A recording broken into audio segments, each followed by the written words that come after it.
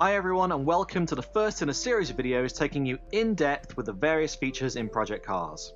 Now, the logo for Project Cars consists of four stripes, and these relate to the four broad categories of how you can play the game. Career, Solo, Online, and Community through the driver network. You can access all of these quickly and easily from the Race Central hub. In this video, we're going to have a look at your career. Now, the career mode in Project Cars was influenced by a number of things. Treating the driver like an athlete, as is common to see in a sports title, reflecting the real life structure, path, and opportunities of real life drivers, and suiting the habits we have as gamers nowadays, in a world where we've both played many, many racing games before, and also have less time on our hands due to the many other distractions in today's busy, connected lifestyle. With that said, let's jump in to see how things take shape. First of all, you're going to create your driver persona. Now this is your name, how you're going to be identified on social media, the region you're going to represent, and your car number. And you can also see different historic goals possible to achieve in your career. These draw inspiration from real racing legends, and we've made them free form, so you can strive for these in any order. You can do one of them, or none at all, of course, if you manage to complete them all, then there's a special place awaiting you in the Hall of Fame. We'll come back to that later. Once you're all set, the next thing to do is choose where you want your journey to start. Now, unlike other games that make you grind your way up from the bottom, we wanted you to be able to jump straight into what you love doing. So if you've got a passion for the fast pace of open wheel formula racing, you can start right there. Similarly, if you're a fan of GT, then it's instantly accessible without you having to earn XP first to unlock it. If of course you do want to start at the bottom and work your way up through the tiers, then that's entirely possible also. The Zero to Hero historic goal would be your reward for doing that. So hopefully you can see the Project Cars breaks from tradition here, with how your career path is going to progress, and everyone's is going to be different.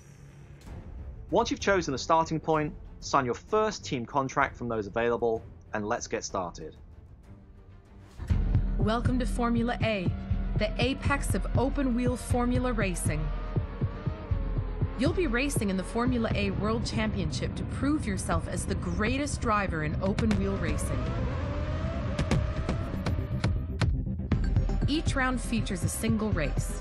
Points are scored by the top 10 finishers. The pit lane is open for repairs and tire changes, but no refueling is allowed during qualifying or races. This is it. It's time to start your Formula A World Championship Challenge. Your career dashboard is where you'll get updates of the motorsports world happening around you and get feedback from a growing legion of fans on your progress. It looks like they're already excited at your first signing.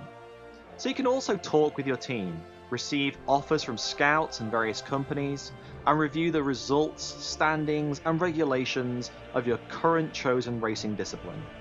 You can also check progress on your career via the Driver Network profile. Here you can see progress towards historic goals and Hall of Fame status, any accolades earned that may attract the attention of scouts from other teams, any endorsements signed, and any invitations received to take part in special exhibitions or Owners Club events.